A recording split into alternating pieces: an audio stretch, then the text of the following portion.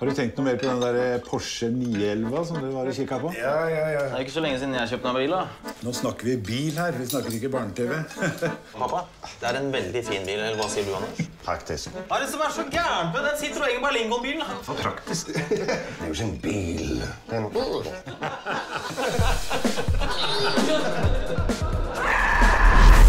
Du husker Umeå?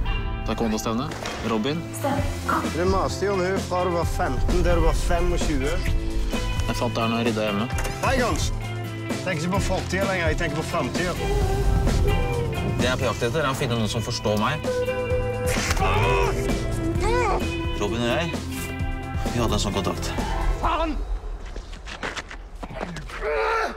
La oss dra til fuckings Umeå, ja? Ska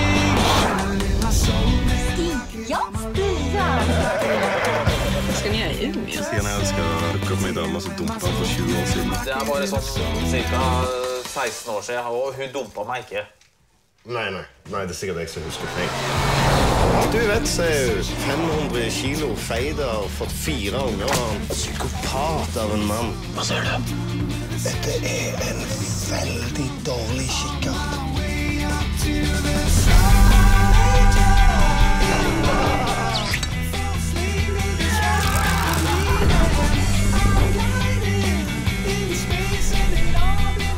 Great.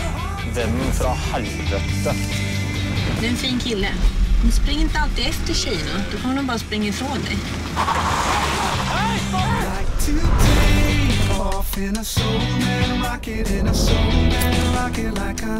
Har du planlagt det her, eller? Godt spørsmål.